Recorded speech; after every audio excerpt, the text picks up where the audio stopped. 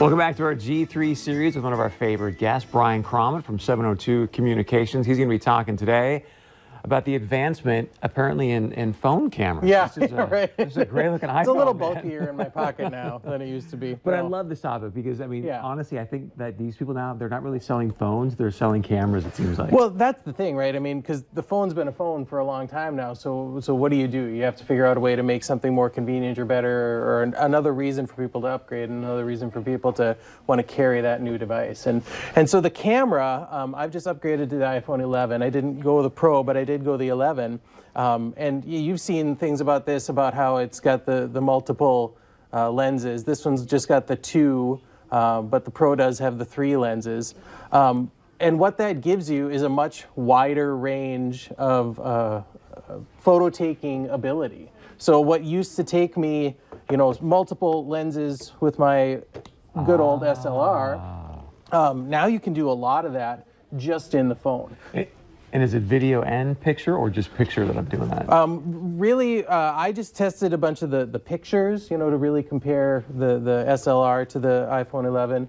Um, but we went out yesterday and we shot a bunch of side by sides to show you the difference between like an older iPhone 7, um, the 11, and then and then the camera. So- Okay, um, we just found out that our graphic uh, system died. So do you want to reenact those pictures? So what was the distinction? yeah, so what you really see is is is on an older uh, like an like an iPhone 7. Um, it, it, it's going to be kind of a, a point and shoot. Um, you're not going to get any of the nice uh, bokeh uh, effect from you know something being focused near and, and blurred out far. Yeah. Um, the 10 does a better job of that. The 11 does a great job of that, and the 11 really rivals what you can do with with an SLR, you know, in a portrait setting. I was going to ask because a buddy of mine just got an 11. We took a pic, and it was unbelievable how Yeah. nice it was, Yep. clear, the color, everything. Yeah. So is the upgrade worth it for an iPhone 11? Do you think? Well, it is, you know, because like I say, I mean, if you do a lot of portraits, this will give you that portrait feel, you know, without having to know how to work an SLR. But the other really nice thing is um, we shot some side by sides yesterday just to show the, the wide angle, because that's another uh, feature that they're really touting in the 11 is the wide angle. Um, so we took a shot with the 11.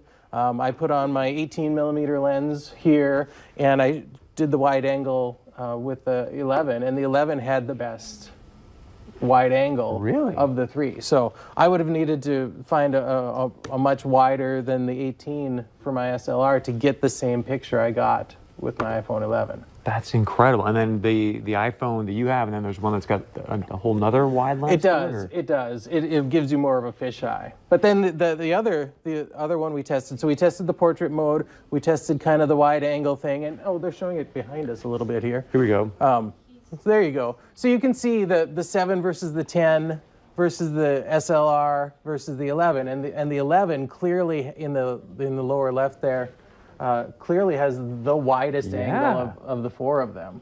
That is That's fantastic. That's pretty cool. And then if I don't know if we can get the portraits up or not. Um, but so there's the difference in the portraits. So the iPhone 7, you can you know see me, but you can see the background pretty clearly.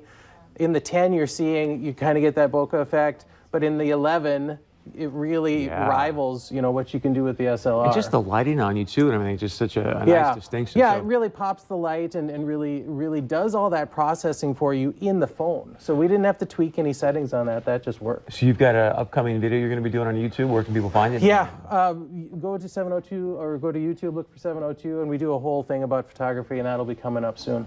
Is that going to be your headshot for your, your acting gigs coming up? or- Maybe. do, do you like that one? I did. Brian Cromit, 702 Communications. Check him out on YouTube and stick around. We got more coming up right after this.